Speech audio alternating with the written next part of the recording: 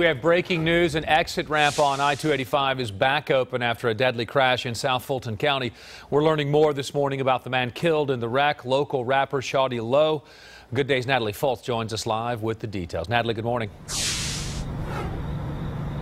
Good morning, guys. Well, Shawty Lo's fans on Twitter are sounding off. They're waking up shocked this morning, learning the news of his death. Now, Dish Nation confirmed with Shawty Lo's manager that he was the man behind the wheel of the 2016 Audi that was involved in this um, crash last night here on the Interstate 285 southbound exit ramp on Cascade Road. Now, I want to show you the footage from the scene earlier this morning. Now, Fulton County Police originally said they believed it was a hit and run, but we're learning now that it was a single vehicle accident. Uh, we're told that the driver, who Dish Nation did confirm was Lo, um, lost control of the vehicle, struck a tree, and that caused the vehicle to overturn and catch on fire. Now, Lo was ejected from the vehicle and died here on the scene. There were two other people in the car, two women. They actually were able to escape the car, um, and they're okay. They're in the hospital at Grady. They are believed to have non life threatening injuries. So uh, that's the latest um, here. You know, originally they thought it was a hit and run, but now we're learning